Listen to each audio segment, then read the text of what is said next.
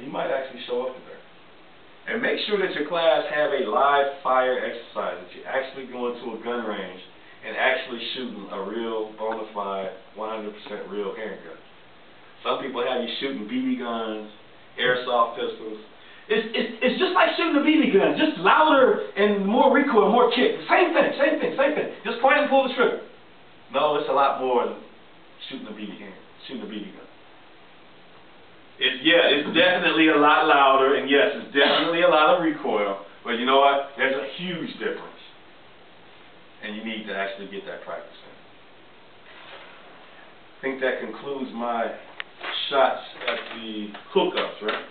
Mm-hmm. I've given you quite a few reasons why you don't want to go with the hookup. Plus, it's a felony to give a county gun board a hookup certificate. A matter of fact, your CPL is actually null and void to the date of issuance if it is determined that your certificate was fraudulent.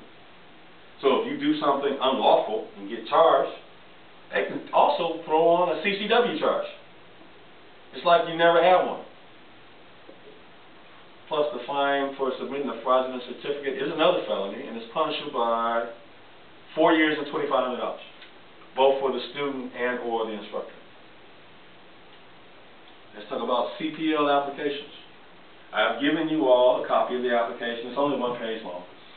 You can fill it out at your leisure, but you turn it in with your $105 processing fee to the county clerk's office in which you reside.